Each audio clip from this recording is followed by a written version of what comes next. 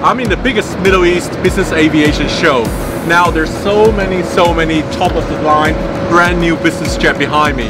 I'm gonna take you for a tour, see which plane you like and which plane you might want to buy.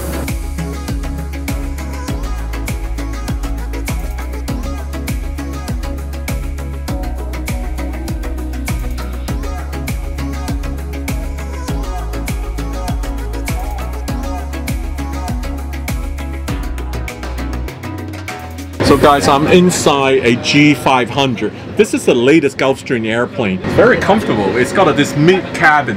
And you know, Gulfstream's trademark to me is the huge round window here. The oval shaped round window. It's just huge. And you know, one window of this is equivalent to five or six tiny little window. Man, this is class. This is like the song, like Gulfstream G5. One of the most technology advanced cockpit in the world right now, the G500 Gulfstream. Hi, Captain Brian. So tell me what is so advanced in the G500? Well, there's three three main technologies that we put into this uh, flight deck. The active side stick controllers, the touchscreen controllers, a touchscreen controller, and, and, then the DCN, the data concentration network, which is a which is the way that we pass information in this airplane. Oh yeah. So now, when I move my one around, your one's moving around as well. Now there's no mechanical connection there. That's all electronics. So when you move yours, go ahead and move it, and I push on you, you can feel yep. me fighting you. Right? I'm feeling, yep, I felt how you're moving on it. I can feel it, yeah. Now there's no mechanical connection, that's all electronics that make that happen. And it's a feedback mechanism that happens with the pilot. So in other words, if you're flying the airplane, I can feel that you're flying the airplane. If the airplane is slowing down on trim and the nose gets heavy, the airplane will provide you feedback. So the stick goes forward and you actually feel the airplane's nose getting heavy. This is on the G500 and the G600. The, the G7 family is the only airplane, the only business airplane in the world that has these, this, this technology. Wow. Three different types of touchscreen technologies in the flight deck. There's the touchscreen controllers, there's the standbys, and then there's the overheads.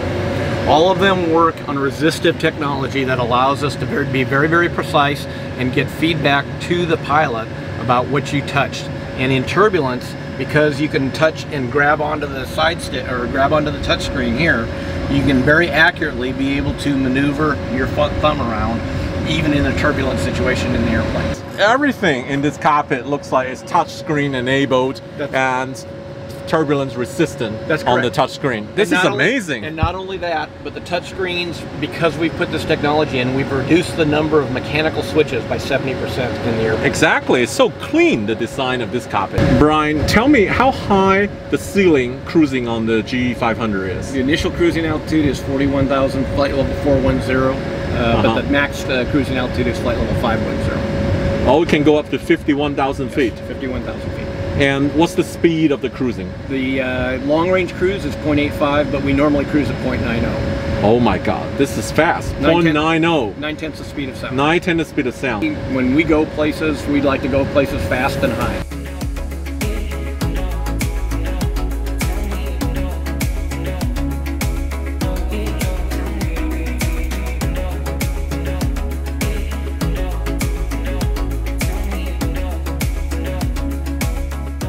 Guys, welcome on board the Gulfstream G650ER. This is their flagship aircraft. Coming in on board, the first one you see a galley, you see nice microwave, oven, everything is nice. Here, this is um, the first zone. This is a bit different. This is all electric operating chairs. You can recline and oh, you can come up. Everything's electric operating. The second zone, we have a nice sofa here and a nice TV to look out. Again, it has this trademark see how big this Gulfstream window is. Okay, coming on to the third cabin here. This is a really close, intimate cabin. You have, you know, nice dining lounge chairs here. You can sit with your buddy and having dining and conference. Beautiful. And that's not it, there's more to come. Here, there's another little very quiet, confined area. There's more lounging area. So you can also sit here, read a book, and look out to the beautiful window when flying at 50,000 feet. So life is very different at private jet. This airplane is the best longest range Gulfstream on offer at the moment. I was told it just broke a record when it flew from New York to Dubai in just 11 hours and 2 minutes, cruising at Mach 0.90.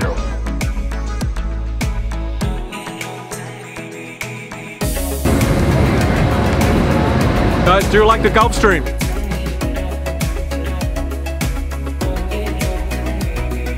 Behind me is the ACJ Airbus Corporate Jet, the A319. So let's go check it out. Please come with me as we take a trip into another world.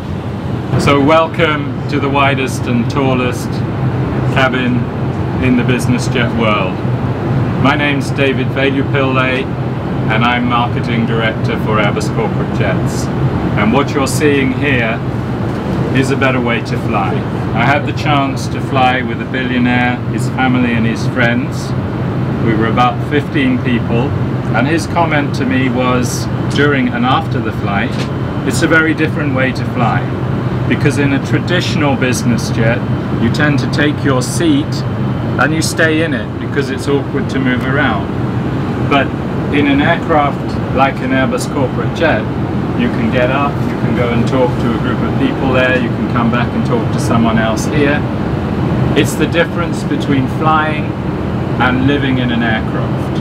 I am so impressed. You know, the ceiling is so tall. It feels like a flying palace here. You're so right, David. So this is the, the middle of the aircraft and as you can see it's set out for dining we can actually extend the table all the way across. We can have converted, we can have two dining table, yeah, four people on each side, so we can have eight Yeah. people dining together.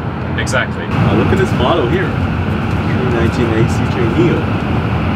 What we're doing with the NEO stands for new engine option. Thank you. We're putting larger engines on the aircraft and larger engines are more efficient because what you're doing is taking in a mass of air mm-hmm. and throwing it out the back less quickly than smaller diameter engines. And because you're throwing it out the back less quickly, you're throwing away less energy, and that is a direct saving in fuel of about 12%. Add these sharklets at the wingtips, and it's a 15% fuel saving, Wow. which is great for airlines, but in the world of business jets, what that means is you can fly farther. So you can have this great cabin and fly even more places in the world non-stop. Now the great thing about this cabin is that it doesn't have to cost you more than a traditional business jet. Really? What do you mean by that? Can you explain me by that? An Airbus corporate jet burns a little bit more fuel than a traditional business jet, costs a little bit more in landing and navigation charges. But because of our airliner heritage, we can offer lower maintenance costs and lower training costs. So overall, you can have this great comfort for about the same operating cost as a traditional business jet. Guys, that tour is not finished because what's an executive jet without a private bedroom? This is it. This is a total private bedroom here. Look at all this beautiful total private bedroom here. Oh, it's just so comfortable on the bed. It's truly like feel like a cloud nine. So saving the best to the last is the private bathroom on the 319 ACJ. Guys, there's also a private shower. So much space here. You can even hide here in the bathroom. I want to see the shower, how it is.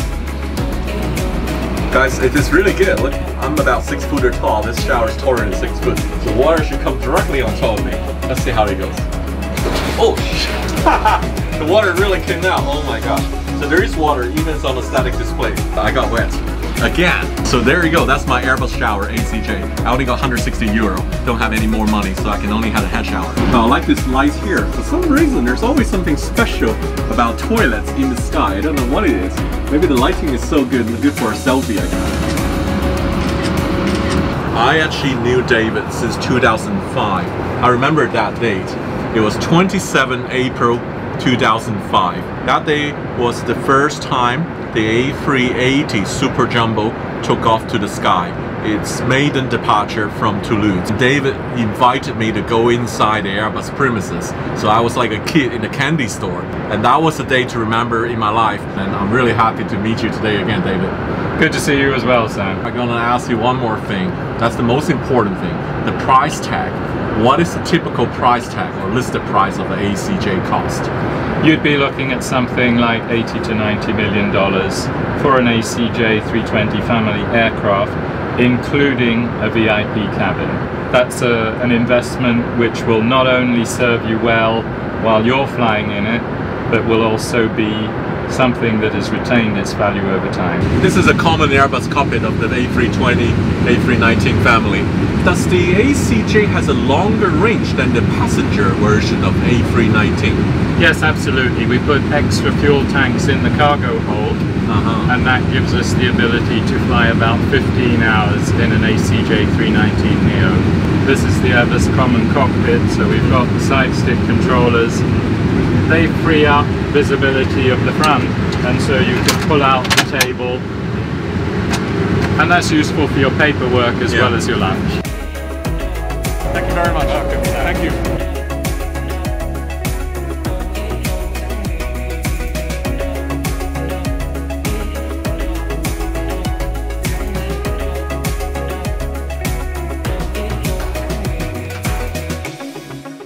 Model of the type is called Sukhoi RRJ95. It's even got an MSN number here, 95060, owned by Comlux.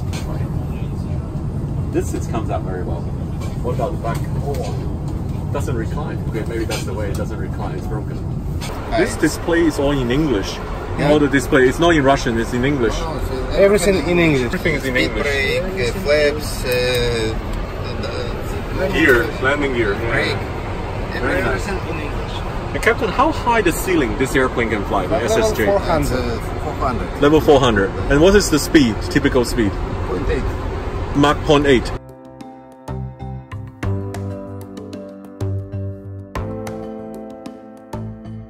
I'm just going inside this Boeing 757-200. This airplane's for sale. This 757 seems to have an upgraded avionics and uh, they have this digital display instead of two little small one. They have a large screen display. It makes it look like a more than 737 NG. Guys, the 757 has so many compartments. Here's the bedroom compartment. Let's check it out. Oh, look at this.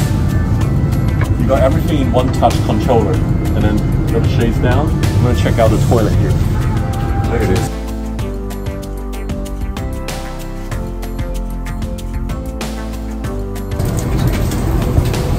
This is like a train cabin. Wow. Facing each other. They can get very comfy. You can lay on the sofa as well. Very amazing. The beans are here. Oh my gosh. Something just drop out of the bin. Maybe this is something to take home with. This is another compartment here. No table layout. Big space. Brilliant. Oh, amazing. Double shade.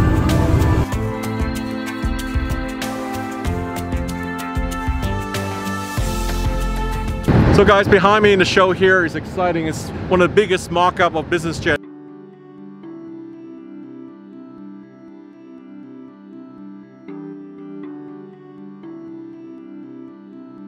I knew you told me this is a mock-up outside, but feels like a complete plane inside. I'm It's pretty you. impressive, Sam. Actually, you know what? uh, The wonderful thing about the mock-up is that it has all the characteristics of the actual aircraft. And the 7500 I heard from you and saw the line down there is the flagship of Bombardier. It is the largest aircraft that flies, business Uh-huh. aircraft that flies. Uh, has an exceptional range. You can go fly anywhere in in the world with just one stop. The window just keep getting bigger and bigger. The natural lighting, beautiful. Is this the real window size on the you- real plane? Absolutely. What you see in the mock-up is exactly the configuration in the in the actual aircraft. Oh, this is the home This inside. is exactly it. This is your entertainment zone. So as Right. you can see, there's a couch, there's a beautiful television set, a large credenza. You feel like you're watching the game in your home. Uh-huh. Library, flying library. This is so cute. Let me try it. This is your home in the sky. There you go. Oh, very comfortable. Just feel like a full bed. The 7500 enables you Uh-huh. to go to that meeting refreshed.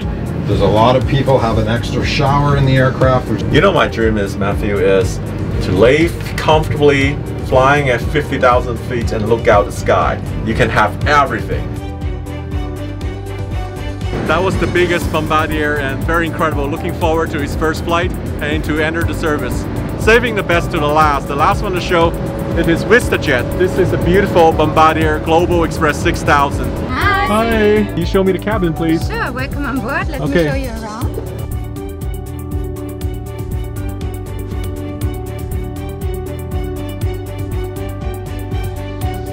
Can we offer you anything to drink? Yeah, maybe some water would be nice. Some water, still Yeah. sparkling. Uh, sparkling water. Sparkling, sure. I'll be right back.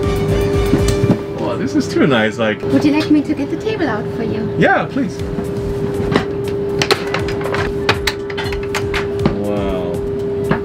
You know, I like this table because you can see yourself. It's like a mirror. I like the carpets. You know, it come in, it feels very warm, very European as well, I think. This Like is like a a- reading corner, right? Selection Cute of reading our corner. newspapers, magazines. I like this little single seater here because you face reverse and see the winglets outside and uh, nice one. Would you like to watch a movie on our iPad? So they're actually now showing how to convert this four seats berth into a flatbed here. So it's very interesting. I've never seen how they do it. Here, there's a gap here in the middle. We have a belly mattress, so it insulates Uh-huh. here in the middle more. So you have a mattress on top, Mhm. and so this can be fully flat seats. Excellent. Even like this is pretty comfy. I've never seen how this table get lifted up and converted. So let me help you. Let's do this together. So we're gonna lift this up. Oh, nice. There you go. Uh-huh. And then we just unfold Oh, the just uh, unfold, and that's it. The table here. uh, move the seat around. Ah, and this so one. you can have actually five guests sitting in this area, which is really great if you're traveling in groups. You make such great videos. I've seen so many of them, really. Oh, really thank you, job. thank you. It's I want to showcase the best of this aviation to all the viewers. I look out of the window and I'm like, that must be Sanj. I have to go Oh my God, oh my God. know? I really hope that, you know, one day I can buy a small, small, tiny private jet. I came here to shopping to look for the private jet, and one day I can buy a second-hand used private jet to fly all my followers. And this is a true statement, and I know I'm being recorded right now. And this is my next level goal. Hopefully in the 10 years I can make my goal. Thank you very much showing me the jet. Thank you. So guys, this is the end of the MEBAA show. I've been to so many beautiful jets. I hope you like the program. Thank you very much. See you. We have the pleasure to have him with us on board. And Thank this is- you. and this is going to be the, just the start, and we'll go forward after, after. And, After, Thank after, you- after. thank you so much. Thank- Oh my god.